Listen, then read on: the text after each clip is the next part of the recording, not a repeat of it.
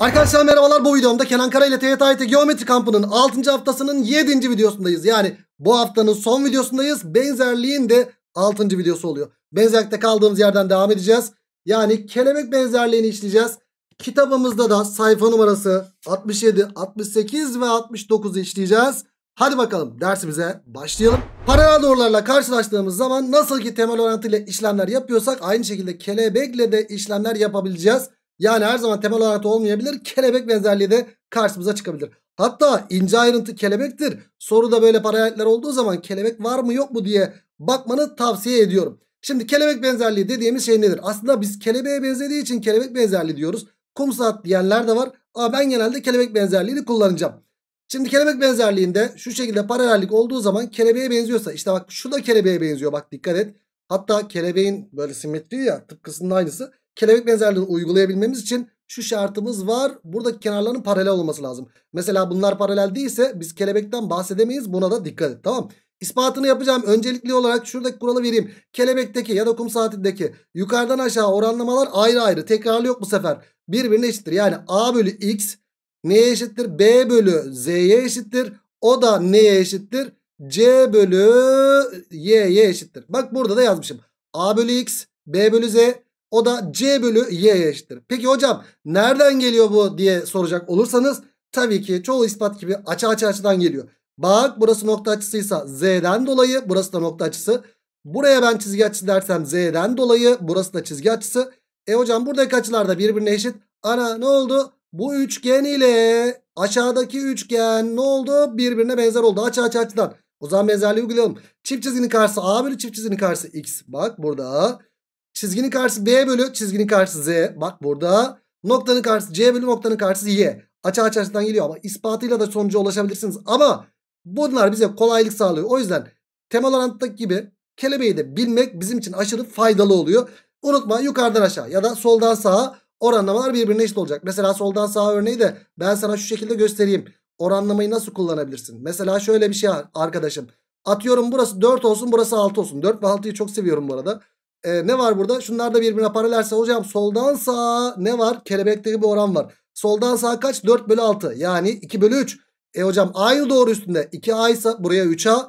Aynı doğru üstünde burası 2B ise burası da 3B yazabiliriz. Ya da yukarıdan aşağı şeklinde oran yapabiliriz.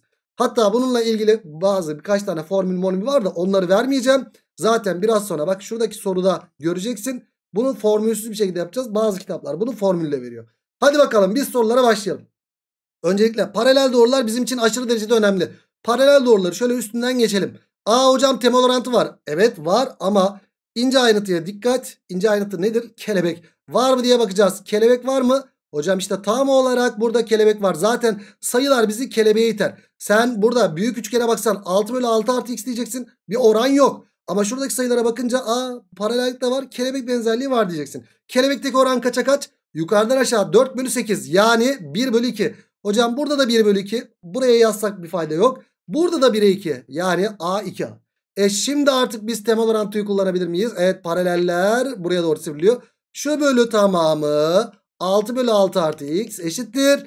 A bölü 2A diyeceğiz. A bölü 2A diyeceğiz. İşler dışlardan x'i bulacağız. Ya da bazen kolay yol vardır artık bu orta tabanı boşuna mı öğrettik biz size? Paralellik var 1'e 2 oran varsa orta taban deyip hocam şunlar birbirine eşittir diyebiliriz. Orta taban çizgisi olduğundan dolayı. 6 ise x de 6 çıkar. İşlemde de 6'ya ulaşırsın zaten. Evet 44'ü 6 bulduk. Geldik 45'e. DF ile BC birbirine paralel verilmiş. Arkadaş öncelikle şu paralelliğe bak. Şu paralelliği göster. Aa hocam kelebek var diyeceksiniz. Bak kelebek burada yok. Dikkat. İki paralel doğru arasında kelebek olur. Bunlar paralel mi? Değil. Buna dikkat edeceksin. Paralel doğrular arasında arayacaksın. E hocam şu paralelliğe bakınca bir temel orantı var. Evet büyük üçgende bak şöyle bir temel orantı var. Ama temel orantıda maalesef bir oran yok. Hiçbir oran yok. E paralelliğe bakıyorum. Paralellik de zaten ince ayrıntı kelebekti. Aa bak şuradaki kelebekte güzel bir şey var. Sayılar ya zaten bizi yönlendiriyor değil mi? Sayılara baktığın zaman 2 ve 6 yani 1'e 3 oran var. E o zaman burada da 1'e 3 burada da 1'e 3. Çift çizgiler boşu boşuna, boşu boşuna verilmemiştir. O zaman 1'e 3'ü burada yazayım. K 3K. Hocam K ise burası da K'dır. Aa, bak şimdi ben artık temel orantıyı kullanabilir miyim? Evet. Büyük üçgende paraleller şuraya sivriliyor. Hop şurada x bölü x artı 8 eşittir. K bölü 3K deyip sonuca ulaşırız. Ya da şöyle yapın arkadaşım. Şimdi burada k bölü 3k 1 bölü 3 oran var. x ise tamamı 3x olacak deyip buraya 2x kaldı diyebilirsiniz arkadaşlar. 2x 8 ise buradan da x'i kaç buluruz? 4 olarak buluruz. Bak kısa yolları da gösteriyorum. Kısa yollar senin elinde. Normal klasik bu yolla da içler dışlar yapıp yine sonuca ulaşırsın kardeşim. Ama kısa yolları da lütfen uygula ya. Bunları artık öğrendin sen çünkü. Örnek 45 4 çıktı. Geldik örnek 40, 46 ya. Arkadaşlar 1 bölü x 1 bölü 10 artı 1 bölü 15 diye kitaplarda böyle formüller görürsünüz. Ben sizin böyle ben sizin kullanmayacağınız şeyi söyler miyim burada? Tabii ki söylemem. Kullanmaya gerek yok. Şimdi paralel doğrulara dikkat edeceğiz dedik. Hocam şunlar paralel. Bu paralel bir de bu paralel. Tamam paralel doğruların üstünden sen de geç. E, hocam şunu diyebilirsin. Bunlara baktığım zaman şöyle bir temel orantı var. Ya da verilen bilgiyi kullanıyorum. Bak şunlara baktığın zaman şöyle bir temel orantı var. Ama sayılar 10 ve 15 verilmiş. E sayılara baktığın zaman da şöyle bir kelebek yok mu kardeşim? Var hocam. E o zaman buradaki kelebeği kullanacağız kardeşim. Kullanalım o zaman buradaki kelebeği. Kelebekteki oran soldan sağa. Bak bak bak. Şuradakini kullanıyorum. Dikkat. Soldaki soldan sağa 10 bölü 15. E, 10 bölü 15 dediğim nedir? 10 bölü 15 dediğim 5'e bölü 2 5'e bölü 3. Soldan sağa 2 bölü 3 oran var. O zaman soldan sağa 2 bölü 3 oranı yazalım. Aynı doğru üstünde 2 bölü 3 oran var. 2A 3A ya da aynı doğru üstünde burası 2B ise burası da 3B'dir. Sen şimdi çözüm yöntemi sana göre şekilleniyor. Ne yapacaksın? X'e baktığın zaman verilen bilgiyi kullanmaya çalışacaksın ya.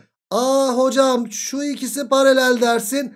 O zaman şurada bir temel orantı yaparsın. Ya da ne yaparsın kardeşim?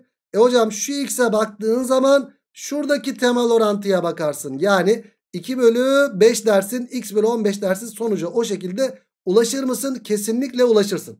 E biz ne yapalım? Şuradaki paralelliklere bakalım. Hani verilen bilgiyi kullanmak. E bu paralelliğe baktığın zaman sivrilen yer burası oluyor. Hocam şu bölü tamamı tekrarlı 3b bölü tamamı 5b eşittir x bölü 10 mudur? Evet. x bölü 10'dan 2 katı 2 katı x'i de böylelikle 6 olarak buluruz. Ya da şunu yap kardeşim. Hocam 3'te yok ama şöyle baktığın zaman L, L gidiyorduk ya. 5'teki 10'sa 3'teki de direkt 2 katıdır diyebiliriz arkadaşım. Tamam. O şekilde de yapabilirsin. Kısa yollar tamamıyla senin elinde. Geldik örnek 47'ye. Paralel doğrular bizim için önemli. Şu ve şu birbirine paralel verilmiş. Hocam temel orantı var. Evet şu ve şu temel orantıya baktığın zaman var ama oran yok. Ne yapacağız? İnce ayrıntı kelebektir zaten. Kelebeğe dikkat ediyoruz kardeşim. Şu paralel doğrular arasında. Hocam sakın şurada bir kelebek var demeyin. Bak şunlar paralel değil. Şunlar paralel. Bu ikisi paralel arasındaki kelebek şurada mı? Evet. Kelebekteki oran. Ana yok ne yapacağız şimdi? Deme. Arkadaşım açı ortayda da yapıyorduk. X'e 6 oran varsa kolda tabanlara da XK'ya 6K yazıyorduk. Evet burada da benzerlikte de bu katı yazmakta çekinme kardeşim. Hocam kelebekteki oran sağdan sola x bölü 6. O zaman x bölü 6 yazacağım ama bunlar boş boşuna eşit verilmemiştir. E o zaman burası xk ise burası nedir 6k yazarız. E hocam xk ise burası da xk. Şimdi şunlar paralel değil mi? Evet. Şu paralelliğe bakacağım. Bu paralellikte sivrilen yer burası oluyor. Tekrara gir kardeşim. Yani 9 bölü tamamı. 9 bölü 15 artı x eşittir. xk bölü 6k mı olacak? Evet. Bak iyi ki de xk'yı yazmışız. Gördün mü? Niye? Çünkü k'lar nanay oldu. İçler dışlar. Yani ne geliyor buradan? x çarpı 15 artı x eşittir. 6 kere 9 54 yapıyor. Değil mi? 6 kere 9 54 yapıyor. E hocam burada ne yapacağız? Şunu şöyle dağıtırım. Sonra 54'ü öbür tarafa atarım. Çarpanlara ayırırım. Çarpanlarını düşünürüm falan diye şey yaparsınız değil mi? Evet haklısınız. Çarpanları ayırarak yapabilirsiniz. Çarpanlara ayırarak da yapabilirsiniz. Çarpanlara ayırmadan da yapabilirsiniz. Nasıl?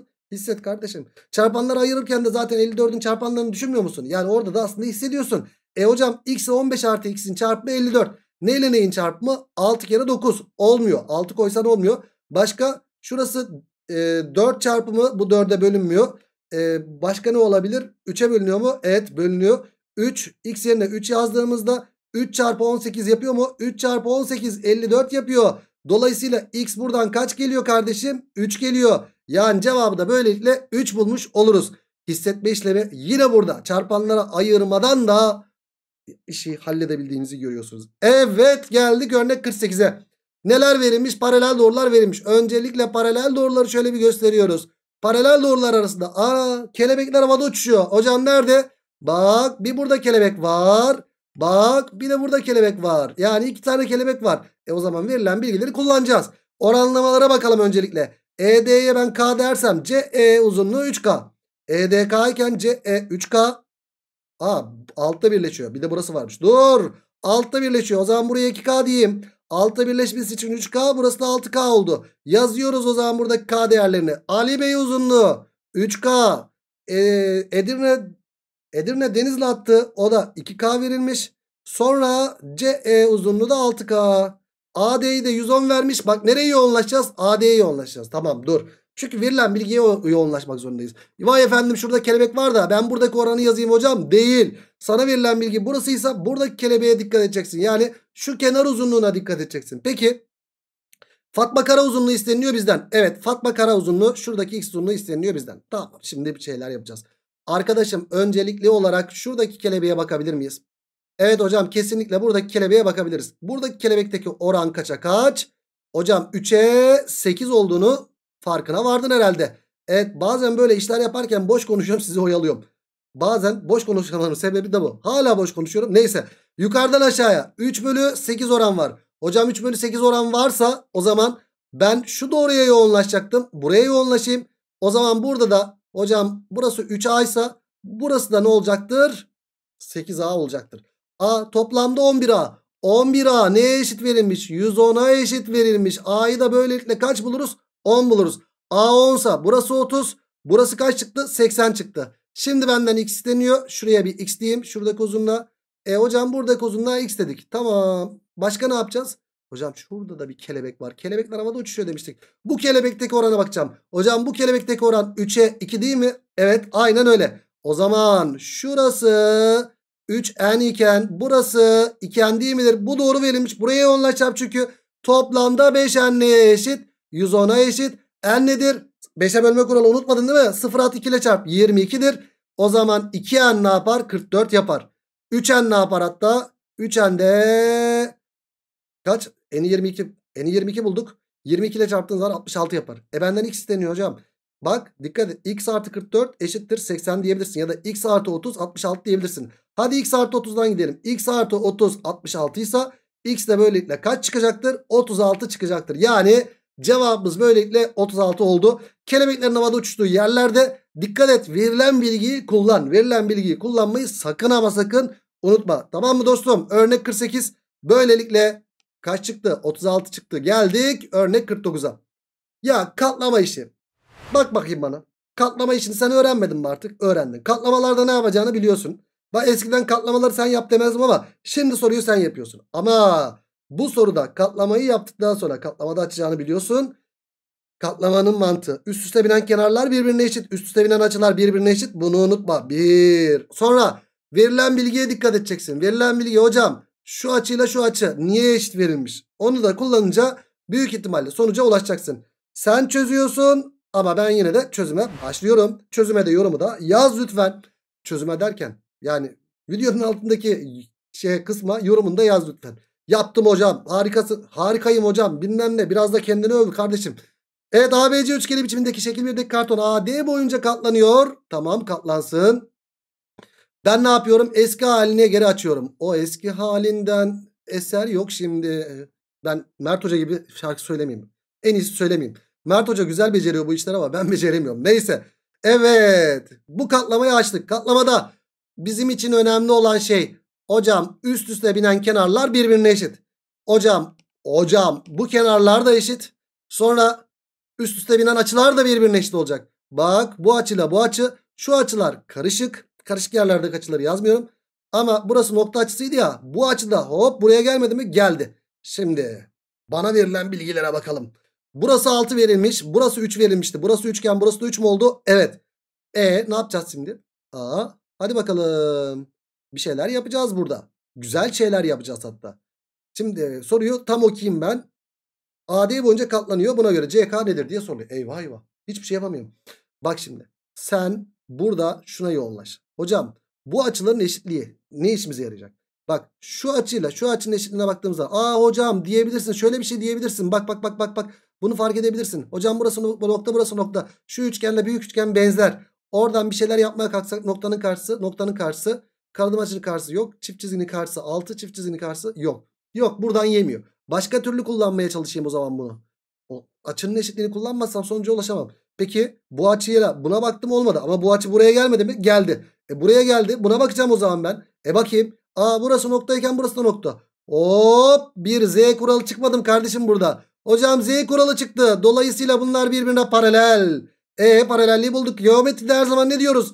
Verilen bilgiyi kullan. Hatta ve hatta soruyu zor yapan bulduğum bilgileri de kullandırmalı sorulardır. Bak burada sen bunu paralel buldun mu? Buldun. Ana ne çıktı burada? Kelebek çıktı. Hadi kelebeği kullan kardeşim burada. Kelebekteki oran 3 bölü 6. Bak çünkü niye? Şunlar birbirine paralel kardeşim. Bu kelebekteki oran 3 bölü 6. Soldan sağa ya da aşağıdan yukarı. Hocam kelebekteki oran 3 bölü 6 ya. Bizden de CK isteniyor. E burası x iken şu doğruya gidelim. Çünkü bizden CK isteniyor. 1'e 2 oran var. 3 bölü 6'dan. Burası 2x ama bizden x istenmiyor. Dikkat ne isteniyor? 2x isteniyor. E sonra ne yapacağız? Hocam bunları yazınca da çıkmadı. Eyvah eyvah. Devam edelim o zaman. Burada şunu da yazalım. Burası A iken burası da 2A değil mi? Aynı doğru üstünde. Evet. Bak katlamada üst üste binen kenarların eşitliğini iyi ki göstermişim. Burası 3A iken burası da 3A değil mi? Evet. E sonra ne yapacağız?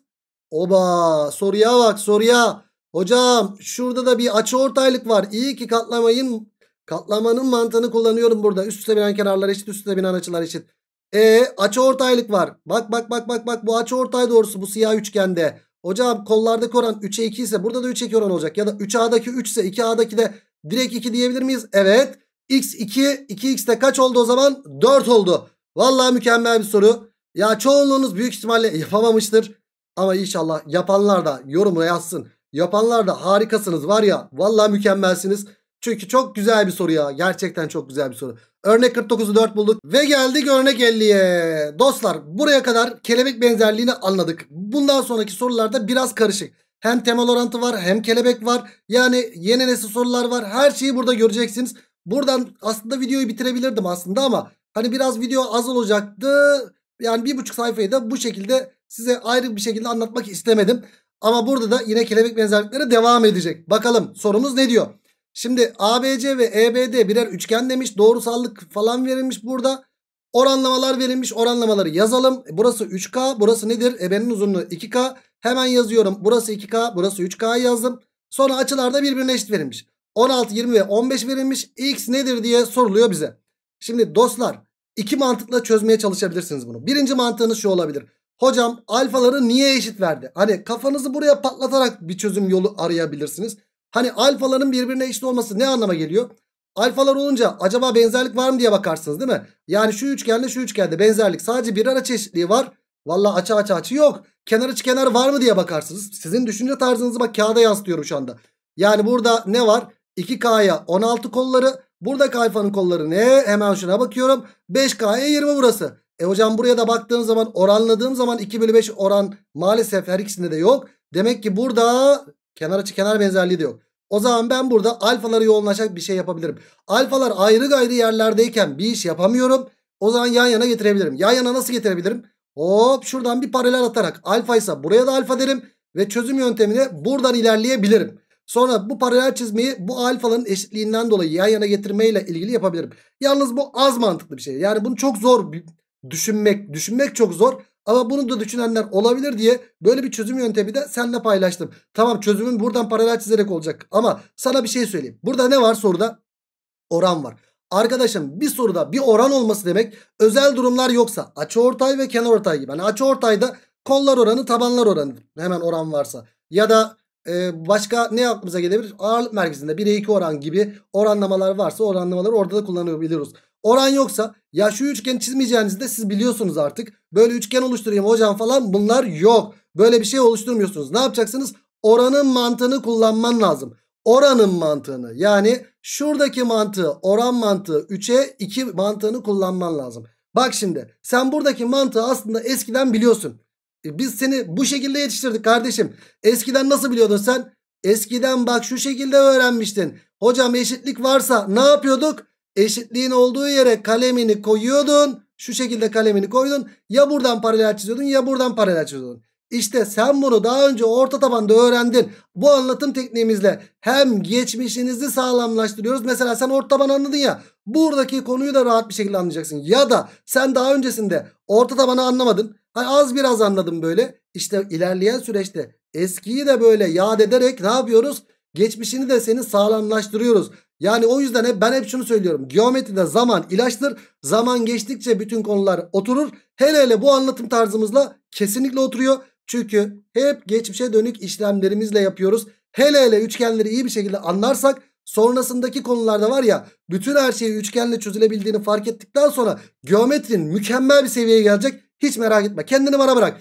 E sen orta taban çizmeyi öğrenmiştin ya böyle paralel ya böyle paralel eşitliğin mantığını kullanmak derken. Hadi böyle paralel çizdin. Paralel çizince hocam ne diyorduk burada? Şunlar da birbirine eşit. Bunlar birbirine paralel. Ve 1'e 2 oran olduğunu söylüyorduk değil mi? Evet bunları söylüyorduk. Şimdi gelelim şuraya.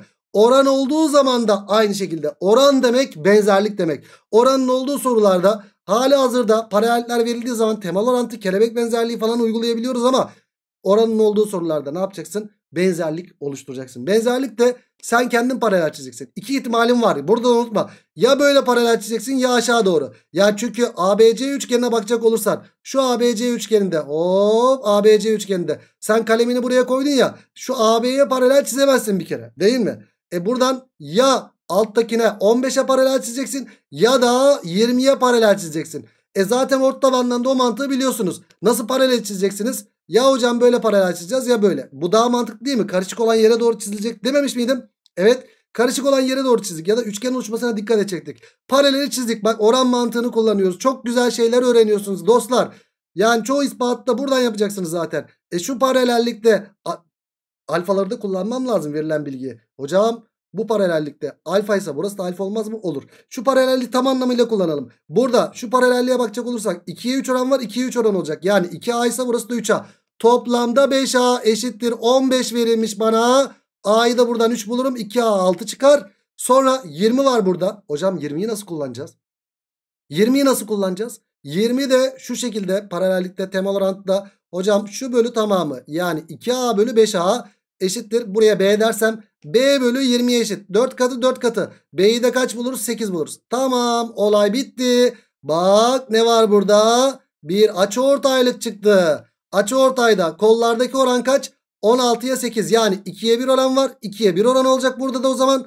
Yani burası 6 burası 6 ise hatta burada sağdan sola 1'e 2 oran var 1'e 2 oran var. X değeri 12 bulur muyuz? Buluruz tabii ki. Ha istersen 16 bölü 8 x bölü 6 dersin sonucu o şekilde de ulaşırsın. Ama 1'e 2 oran var. 1'e 2 oran 6 ise direkt 12 yazmayı öğrendin artık. Cevap 12 oldu. Bak bu soruda çok güzel şeyler öğrendin. Oran mantığını biz bu şekilde oranlamanın olduğu yerden çektik ama sen paraleli şöyle de çizebilirdin. Böyle de bir temel orantı oluşturup alfa ise burası alfa deyip büyük üçgende bir temel orantı pardon hem temel orantı şu üçgende yapabilirdin. Büyük üçgende de açı ortay yapabilirdin. Yani sen oran çizmeyi öğren ama içeriden çizmek oranlamanın olduğu yerden çizmek daha kolayımıza geliyor. O yüzden bunu hadi orta tabanı da hatırlatıyor bana. O yüzden buradan çizmeyi öğrendin mi öğrendin. Çok güzel bir noktaya gidiyorsun dostum. Üçgenler biter ayak. Yani üçgenler bittikten sonra buradaki tekniklerin hepsini biz nerede kullanacağız? Dörtgende de kullanacağız. E orada da o zaman hem üçgeni sağlamlaştıracaksın hem de dörtgeni bildiğin bilgilerle yapmayı öğreneceksin. Hadi bakalım. Örnek 50 mükemmel bir soruydu. Cevabı da 12 bulduk. Geldik örnek 51'e. Bak bak bak soruya bak. Oranlamalar verilmiş. Burası da 4 birim verilmiş. Şimdi bazı arkadaşlar bu soruda şunu yapabilir.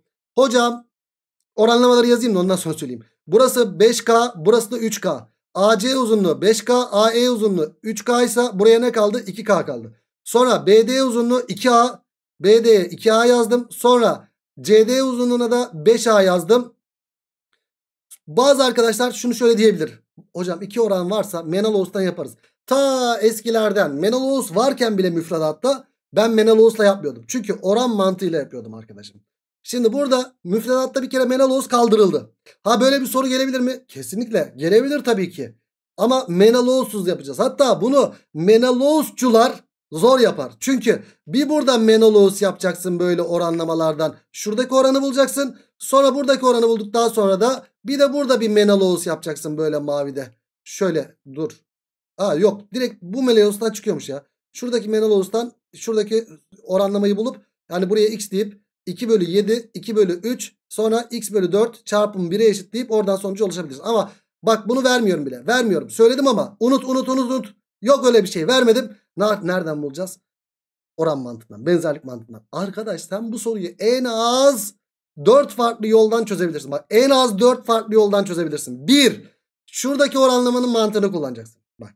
Dikkat, dikkat, dikkat. Lütfen beni çok dikkatli bir şekilde dinle. Ya hocam buradan paralel çizeceğim ya da buna paralel çizeceğim. Bak iki yol oldu, etti mi? Bak 1 ve 2. Gördün mü? Hadi bir böyle çizince ne geliyor? Hocam burada bir kelebek geliyor. Şurada da bir temel orantı geliyor. Şöyle bir temel orantı geliyor. Bitti. Ya da 2. Hocam şuradan paralel çizerim böyle. Valla zaman geçiyor ama bunları öğrenmeniz çok önemli. Şuradan buna paralel çizerim böyle. E o zaman iki tane temel orantı geldi. Bir burada temel orantı geldi. Bir de büyükte geldi kardeşim değil mi? E başka? Hocam şuradaki oranlamayı kullanarak da bir şey çizebilirim. E burada da iki ihtimalim var. Ya böyle paralel çizeceksin ya böyle paralel. Şöyle paralel çizince burada bir kelebeği kullanırsın. Bir de burada temel orantıyı kullanırsın böyle. Başka? Şuradan da şöyle paralel çizebilirsin şöyle. Buradan paralel çizdikten sonra da şu paralellik temel orantıdan yani şuradaki üçgendeki temel orantı bir de şuradaki üçgendeki temel orantıdan sonuca ulaşırsın. Oldu mu sana bayağı bir yol? Oldu. Bayağı bir bayağı bayağı bir yol oldu. Hatta sen buradaki oranlamayı bak şu şekilde de kullanabilirsin. Hocam hep temel orantı oluşturduk ya da içeri çizdik. Dışarıda çizebilirsin. Sen buradan ne yapabilirsin bu oranlamayı kullanmak için? Hocam dışarı uzatıp şöyle bir kelebek oluşturabilirim diyebilirsin. Bak bir burada kelebek çıktı. Bir de şurada kelebek çıktı. Gördün mü? Biraz önce sana 4 farklı yol gösterdim. E şimdi burada bunları da uzatarak ya da şuradaki oranlama için şunu şöyle uzatarak da şöyle bir işlem yapabilirsin. Şöyle bir kelebek benzerliği de yapabilirsin. Tamamıyla sana kalmış kardeşim. Tamamıyla sana kalmış. Ee, uzatıp başka şeylerde de yapabilirsiniz. Ama uzatmalar bazen zor görülüyor arkadaşlar. O yüzden ben uzatmaya çok fazla gitmiyorum. O uzatma işini paralel kenarda ve dikdörtgende. Özellikle paralel kenarda vereceğim. Neyse öğrendik mi arkadaşım burayı? Öğrendik. Şimdi hangisi kolaysa ona göre biz işlem yapmaya çalışalım. Ya buradan paralel çizeceğiz ya da buradan paralel çizeceğiz. E sen buradan paralel çizince hocam sanki bu daha kolay olacak. Çünkü niye? Şuradan paralel çizince bak hocam burada bir kelebek benzerliği var. Artı temel orantıda da 3 bölü 5 oran var. Direkt burası 5A ya daha kolay oldu. 3 bölü 5 ise burada da 3 bölü 5 oran olacak. Yani buraya 3 an 3, 5A ise buraya 3A kaldı. Kelebekteki oran kaça kaç oldu dostum? Dikkat et. Hocam 3'e 2. O zaman burası 3'e 2 orandan dolayı burada da 3'e 2 oran olacak. Yani burası 3 n ise burası 2 n olacak. 2 n 4'e eşitse n2 olur.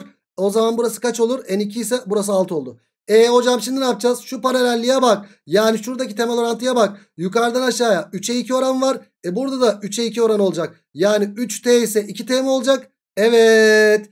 2t 12'ye eşitse t'yi kaç bulduk? 6 bulduk. T 6 ise da burası da 18 mi çıktı? Aynen öyle. AF'ye bakıyoruz. 18 burası. 6 da burası. Değil mi? Toplamda da kaç çıkıyor? Yanlış mı buldum ben ya? 3'e 2 oran. Tamam.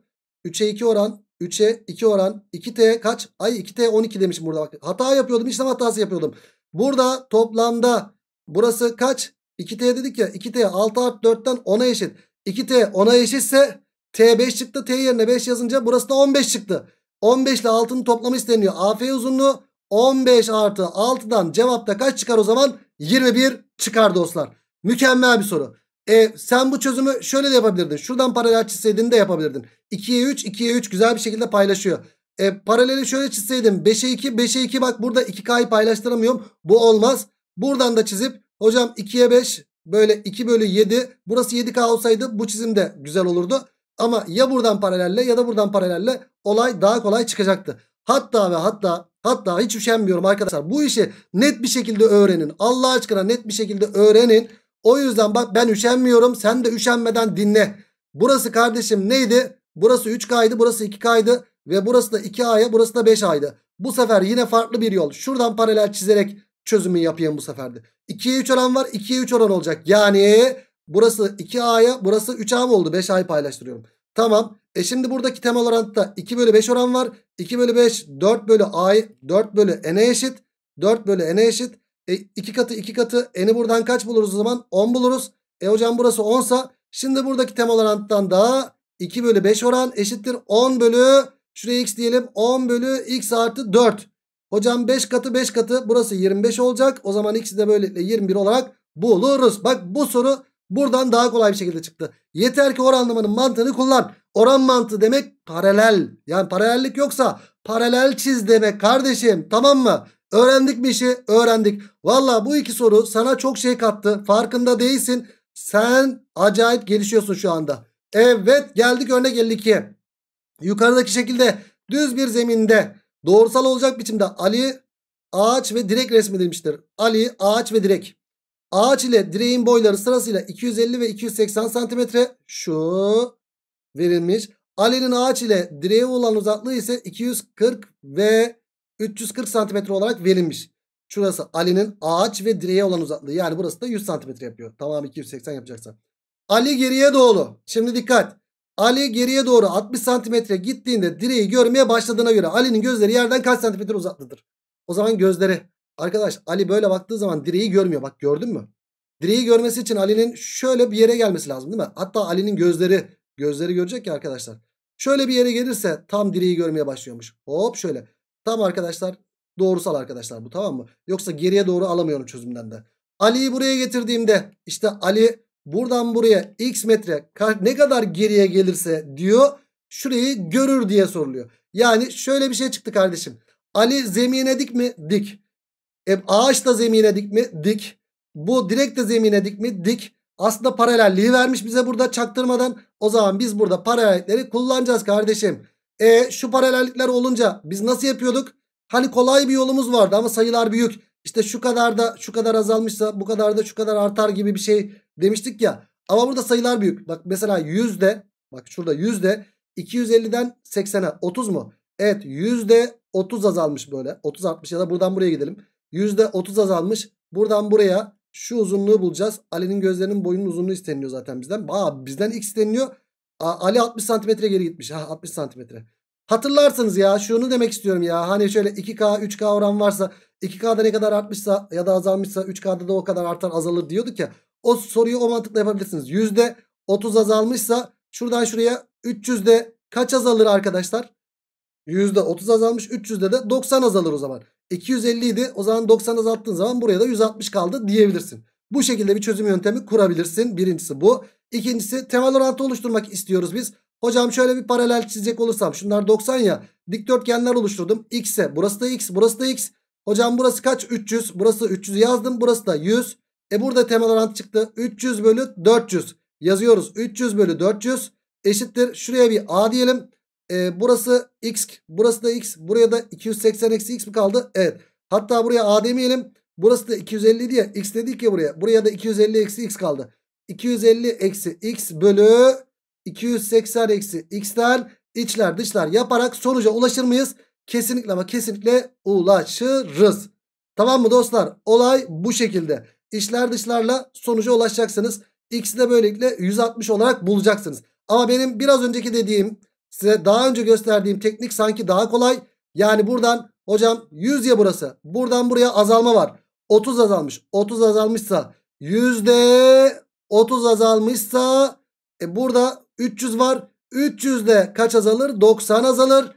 O zaman buradan buraya da 90 azaltacaksın. Ama burası kaçtı? 250. 250'den de 90 çıkartacaksın. X 250 eksi 90'dan 160 sanki daha kolay oldu. Bu da aklınızda kalmıştı büyük ihtimalle. Örnek 52. 160 çıktı ve geldik örnek 53'e. Bu da güzel bir soru. Dikkatli olun. Hatta bana bak, bana bak ve soruya bak. Hadi ilk önce bana baktın. Şimdi soruya bak. Bu soruyu böyle oku. Sonra anla. Sonra verilen bilgileri şekil üzerinde bak bakalım yap bakalım yapmaya çalış daha doğrusu. Ne diyor soru? Ben çözüme başlayayım. Yukarıdaki şekilde mum ile mumdan 3 cm daha uzun olan bir vazo zemine dik olacak biçimde konulmuştur. Evet zemine dik zemine dik burası da zemine dik. Bunlar ne demek? Arkadaşlar bunlar böyle paraleldir anlamına gelmiyor mu? Evet paralel anlamına geliyor zemine dik olduğu için. Sonra başka ne demiş? Mumdan 3 santimetre daha uzun. E mumdan 3 santimetre daha uzunsa hop şöyle yaptığımız zaman burası da 3 santimetre mi olacak? Evet. Arkadaşlar burada bir de şunu söyleyeyim. Siz yapın dedim ama mum ışığı keşke daha küçük yapsaydım. Ya da mumun ışığı böyle ihmal edecek falan şeklinde söyleseydim daha güzel olacaktı. Ya da gölgesi şuradan çizseydim daha güzel olacaktı böyle ama neyse siz olayı anladınız. Mum ışığını böyle kale almayın. Ya da mumun boyunu ışığıyla birlikte alırsak daha güzel olacak sanki. Mum boyu şöyle olsun. E, mumdan kaç santimetre daha uzunmuş? 3 santimetre daha uzun. Mumun boyunu ışığıyla birlikte şöyle alalım. Tamam mı dostlar? Burada bir hatam var. Kusura bakmayın. Işığı küçük şey yapabilirdim. Ya da ışık böyle ihmal edilecek diye de söyleyebilirdik. Neyse devam edelim soruya. Mum yandığında vazonun zemine dik konumlu duvarda gölgesi oluşmaktadır. Mum belli bir süre yanıp biraz eridiğinde vazonun duvardaki gölgesi 12 cm uzamıştır. Evet mumu eriteceğim şimdi. Hadi erittim. Hadi mum yandı yandı yandı eridi. Buraya kadar eridi mesela. Buradan sonra eridiği zaman hop duvardaki gölgesi de böyle mi olacak arkadaşlar? Evet. Yani duvardaki gölgesi tam olarak şöyle bir şey oldu. Duvardaki gölgesi önceden bu kadardı şimdi bu kadar uzamış oldu değil mi arkadaşım? Yani toplamda bu kadar oldu. Uzadığı kısım burası oldu. Yani uzadığı kısım şuradaki uzunluk mu oldu arkadaşlar? Evet 12 santimetre. 12 santimetre uzamıştır diye söylüyor bize. Tamam. Mumun gölgeye olan uzaklığı vazoya olan uzaklığının 7 katı olduğuna göre mumun vazoya olan uzaklığı k iken gölgeye olan uzaklığı 7k'ymış. E hocam buraya ne kaldı o zaman? 6k kaldı. Şimdi burada bunu kullanmak zorundayız. Hadi bakalım. E bizim Thales amca var burada ya. Thales ne diyordu? 2'ye 3 oran varsa 2K 3K demiyor muyduk arkadaşlar? Evet. Hadi bakalım bunu kullanalım. 1'e 6 oran var burada. Bir de şunlar zemine dik mi? Dik. Burada özel bir durum çıktı mı? Çıktı. Bak şöyle bir kelebek çıktı. Kelebekte oran yok hocam. Aslında var. 1'e 6. E hocam 1'e 6 ya da mavideki 1'e 6'yı yazabiliriz. Şuraya ben A iken buraya 6A yazabilirim. Thales'ten dolayı. A kelebekteki oran kaç oldu? 1'e 6. O zaman 6'ya bölünmüş hali. Şurası kaç oldu? 2 oldu. Şimdi bizim önceden mum vazodan ne kadar uzundu? 3 santimetre uzundu. Şimdi bizden ne isteniyor? Son durumda vazo mumdan kaç santimetre uzundur? Son durumda mum eridi ya buraya kadar geldi ya. İşte ne kadar uzundur buna bakacağım. Hop boylarını kıyaslıyorum. E hocam buradaki uzunlukla şuraya x dersem buradaki uzunluk birbirine eşit. 2 ise burası da 2. E burada da önceden 3 birim vardı. Toplamda 5 birim daha mı uzun olmuş oldu son durumda? Evet bizden bu isteniliyor. Cevap ne çıktı? 5 çıktı dostlar. Evet güzel bir soru gerçekten. Örnek 53'ü 5 bulduk. Ve geldik örnek 54'e. Bu da güzel hoş sorulardan biri. Bakalım ne diyor. Yukarıdaki ama dur ne diyor derken öncelikle bir bana bak bakalım. Şimdi sen bu soruyu yapabilirsin bence. Öncelikle sen uğraş. İki farklı yoldan yapabilirsin. İki farklı yol mu var? Evet iki farklı yol var. İki farklı yoldan yapabilirsin. Sana bırakıyorum. Çok kolay bir soru gerçekten. Çok hoş bir şekilde yapacağına inanıyorum. Hadi bakalım el, örnek 54 ellerinden öper. Ben de çözüme başlıyorum. Yukarıdaki şekilde prizma biçimindeki iki cismin günün belli saatindeki zeminde ve duvarda oluşturdukları gölge boyları santimetre cinsinden verilmiştir. Evet gölge. Arkadaş gölge burada 9 bir de duvarda da oluşturmuş. Gölge burada küçük olduğu için aa, burası da küçük olmuş. Tamam. Yalnız gölge ışın ışık vurduğu zaman günün belli bir saatinde güneş ışığı aynı açıyla vurmayacak mı? Aynı açıyla vuracak. İşte buna dikkat edeceksin kardeşim. Burada hop şu alfa derecelik açıyla vurduysa hop bu en son bak buraya vuruyor ışık. E buraya da alfa derecelik açıyla vuracak. Aslında zemine alfa derecelik açıyla vuracak da. Bak şimdi dikkat et. Aslında zemine alfa derecelik açıyla vuracak. Ama kardeşim senin şurasıyla şurası birbirine paralel ya. E o yüzden şöyle şey yaptık o yapacak olursan şuradan dik çizecek olursan zemine dik çizecek olursan aslında burada dik çizdiğin zaman burası da alfa olmaz mı? Olur. İşte buradaki vuruş açısı zemine paralel çizdiğimizde burası da alfa oldu. Yani sen sadece buradan da sonuca ulaşabilirdin. Öncelikle bir şöyle yapabilirdin. Uzattın hocam burası da alfa. Şurada temel orantıdan sonuca ulaşabilirsin. Birinci yol bu. Bu yolu sana bırakıyorum tamam mı? Ee, burada ne yapabiliriz? Başka temel orantısız bir şekilde şunu yaptık. Hani ışık en son buraya vurdu ya. Hani zeminle alfa derecelik yapıyor dedik ya burada. E burada da zeminle alfa derecelik yapacak. Yukarıda ya zemine paralel çizdim sadece. Tamam 9 ise burası nedir? 9. Eyvallah. Hatta burası kaç yaptı? 8. Burası x mi? X. X'i bulursam olay bitti. E hocam burası 4 burası 6. Aa ne var burada? Alfa 90. Burası da beta. E burası alfa 90 ise burası da beta değil mi? Yani senin şu üçgenle şu üçgen benzer mi oldu? Kesinlikle. E burada alfanın karşısı 4 bölü alfanın karşısı x eşittir. Beta'nın karşısı 6 bölü beta'nın karşısı 9 deyip sonuca ulaşabilirsin. Ya da iki farklı üçgen tanjant alfadan da yapabilirdin. Tanjant alfa 4 bölü 6 tanjant alfa x bölü 9 deyip sonuca o şekilde de ulaşabilirdin dostum. E tamam ben benzerlikten yaptım. İşler dışlar yapalım. 6x eşittir 36'dan x'i de böylelikle ne bulduk? 6 bulduk. Bizden de zaten ne isteniyor? Büyük prizmanın boyu kaçtır diye soruluyor. X'i 6 buldun. Cevap 6 değil. 8'i de zaten buradaydı. 8 artı 6'dan cevap 14 çıktı arkadaşlar. Evet örnek 54 14 çıktı. Gerçekten çok güzel bir soruydu. Geldik örnek 55'e. He, aşağıda birim kareli zeminde 3 farklı ABC üçgeni gösterilmiştir. ABC, ABC, ABC. Buna göre diyor A, B ve C ile ifade edilen noktalardan hangileri bulundukları üçgende ağırlık merkezidir. Ağırlık merkezinin tanımını soru yapıp koydum. Bir de benzerlikle ilgili tanımını. Yani benzerliği de karıştırdım. Güzel bir soru oldu. Bakalım ne diyor soru. Tamam soru işte ağırlık merkezi. Ağırlık merkezi demek ne demekti arkadaşlar? Ağırlık merkezi demek şu demekti. Ağırlık merkezi demek bir kenar ortay olacak. 2 ya kenar ortayların kesim noktası ya da tanımını düşün. Tanımını düşün. Şuraya yazalım. Şöyle göstereyim. Hocam şöyle olduğu zaman ağırlık merkezi kenar ortay, kenar ortay, kenar ortay ve aynı zamanda burada da 1'e 2 oranları vardı. A2A, B2 B, C, 2C değil miydi? Evet hatta ne demiştik? Buradaki iki şart sağlanırsa ağırlık merkezi olur demiştik. Sakın şuraya baktığın zaman aa hocam buradan gelen kenar ortay olmuş bu bir ağırlık merkezidir dersen yanılırsın. İki şart sağlanıyor mu? Hayır. Şuraya baktın hocam kenar ortay olmuş eyvallah. E şurası 2 birime burası da 3 birim 1'e 2 şart sağlanmamış. Dolayısıyla bu olmadı. İkincisine bakalım. İkincisinde hocam kenar ortay burası. Burada 1'e 2 oran var mı ona bakacağız. Bak dikkat et gençler. Burada birim kareleri çok güzel bir şekilde kullandırırlar. Birim kareleri ya kelebek benzerliğiyle kullandırırlar ya da temel orantıyla kullandırırlar. Sen şuradaki oranlamaya bak bakmaya çalışacaksın ya. Hocam buna ait şöyle bir kelebek benzerliği var. Fark ettin mi?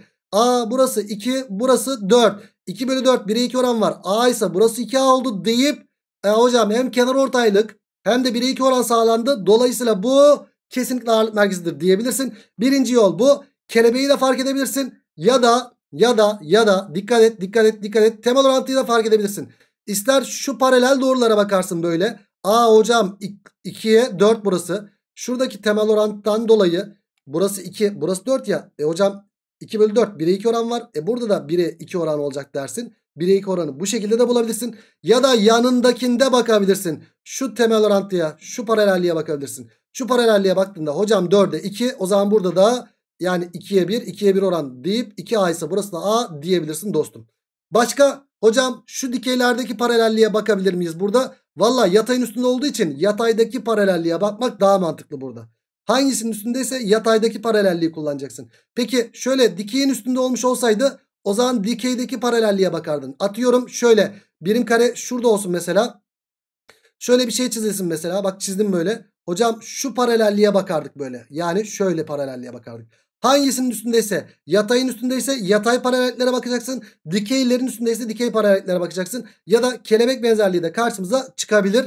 Hatta burada kelebek benzerliği sanki daha çok hoşumuza gitti. Hop şöyle hop şöyle. Şuradaki kelebek benzerliğine bakacak olursak. Hocam kelebekteki oran 2'ye 4. 1'e 2. A ise burası 2A oldu. O zaman iki şart sağlandı. Ağırlık merkezi oldu. Mükemmel bir soru. Üçe, üçüncüye baktım. Hocam burada 1'e 2 oran var. Ama burada kenar ortaylık var mı? Yok. Bu 2 birim bu da 3 birim olduğu için kenar ortaylık sağlanmadı. Sadece 1'e 2 oran sağlandı. O zaman bu da değil. O zaman cevap ne olacak arkadaşlar? Sadece ve sadece B olacak.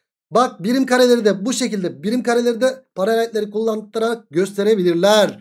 Ve geldik son soruya. Evet dostlar ne demiş? Renkleri dışında birbirine özdeş olan 12 dikdörtgenin kenarları yapıştırılarak ABC'de dikdörtgen oluşturuluyor. BD köşegeni çizildiğinde köşegenin sarı dikdörtgenler içinde kalan parçasının uzunluğu 10 birimdir. Yani biraz önceki birim karelerdeki yaptığımız işlemi buraya attım. Dikdörtgenlerde sordum arkadaşlar burada da. Evet burada 10 birimmiş. Hocam buradaki nokta yatay üzerinde yataylara bakacağım. E buradaki nokta da dikey üzerinde o zaman dikeylere bakacağım. İster kelebek benzerliğinden bak. istersen temel oranttan bak. Hangisi hoşuna gidiyorsa. E çünkü niye buraya dikkat edeceğim ben? Çünkü arkadaşım sana buradaki uzunluk verilmiş. E o zaman buradaki uzunluk verilmişse şu noktaya baktığında o zaman bu noktaya baktığında yataylara göre bakalım. Hocam şu yataylara göre baktığımda buradaki oranı bulabilir miyim? Bulabilirim. Bak ne var burada? Hocam burada 1'e 3 oran var. E o zaman burada da 1'e 3 oran olacak. Yani burası A ise burası 3A yazabiliriz. Geldik buradaki noktaya bak çok önemli bir soru. Buradakine bakarsan da dikeyin üstünde ya dikey paralellere bakacaksınız. Hocam şurada da bir kelebek var diyebilirsin sana kalmış. Bu kelebekteki oran 1'e 2 deyip oradan sonuca ulaşabilirsin. Ya da hocam burada dikeylere bakacağız ya. Bak bak bak dikkat et. Şunlar da birbirine paralel değil mi? Evet. E, şu dikeylerdeki paralelliğe baktığımız zaman da buradaki oranlama kaç? Bak buraya baktık, bakacak olursan burada da 1'e 3 oran var değil mi? 3 eşit parça. Pardon 1'e 2 oran var. Yani burası 1'e 2 ise burası da n ise burası da ne olacaktır? 2n olacaktır. Aha şimdi burada 1'e 3 oran var. Burada 1'e 2 oran var. Hepsini aynı cinsten yazmaya çalışacağım. Dikkat edersen burada rasyonel şeklinde de diyebilirsin. Aslında buraya x deyip hocam işte a artı x 2n deyip sonra buraya da 3a kaldı ya 3a eksi x de buraya da n deyip taraf tarafa oranlayıp a'yı n cinsinden bulabilirsiniz arkadaşlar. Ya da şöyle yapın bence en kolayı o. Burası 1'e 3 derken 4 parça. Burası da 1'e 2 derken 3 parça. 4 ile 3 kaçta birleşiyor? 12'de birleşiyor. O zaman sen şuradaki uzunluğa 12x de kardeşim. Hatta 12k de kardeşim. E burası 12k ise toplamda 4a 12k ise bak dikkat et. 4a 12k ise a dediğim 3k mı oldu? Evet. A dediğim 3k 3a dediğimde 9k oldu. Hocam 3n. 3n de neye eşit o zaman? 3n de neye eşit? 12k'ya eşit demiştik. 12k'ya eşitse n de buradan 4k'ya eşit oldu. Burası 4k oldu. O zaman burası 8k oldu. Bak dikkat et. Şimdi dikkat. Hocam bunun tamamı 8k. E 3k'sı buradaysa buraya da 5k mı kaldı? Ya da hocam burası 9k. 4k'sı buradaysa buraya 5k kaldı diyebilirsin. E sana 5k şu kırmızı parçayı vermişti. 5k eşittir 10 sa k buradan 2 geldi. Hocam bizden BD uzunluğu isteniyor. BD uzunluğu da toplamda 12k değil miydi? Evet. BD uzunluğu da 12K olduğundan K'yı da 2 bulduğundan cevap kaç çıkar? 24 çıkar kardeşim. Ya mükemmel sorular değil mi? Allah aşkına ya yazın yoruma ya. Ben burada bu ders anlatırken aşırı derecede zevk aldım. Bak ses tonumda en ufak bir düşme olmadı. Çünkü çok zevkliydi. Eminim sen de çok zevkli bir şekilde dinledin değil mi? Çok da güzel. Yani hem bir birim kareli mantığı burada verdim benzerlik yapabilirsiniz. Hem de bunu dikdörtgenli bir şekilde sorabilirler dedim. ÖSYM bak bu tekniği sever. Daha öncelerinde birim kareli sordu. Ya böyle dikdörtgenli sorarsa? Neye dikkat edecek misin? Yatayın üstündeyse bu nokta yatay paralellere bakacaksın. E, dikeyin üstündeyse dikey paralellere bakacaksın. Bu dediğimi de sakın ama sakın unutma. Böylelikle bu videoyu bitirdik. Yani bu haftayı bitirdik dostlar. 7 dile kolay 7 derste bitirdik. Ama önemli bir haftaydı arkadaşlar. Yoruldunuz, yorulacaksınız. Normal ya zafere giden yolda çile, çekilen çile kutsaldır demişler. Boşu boşuna dememişler.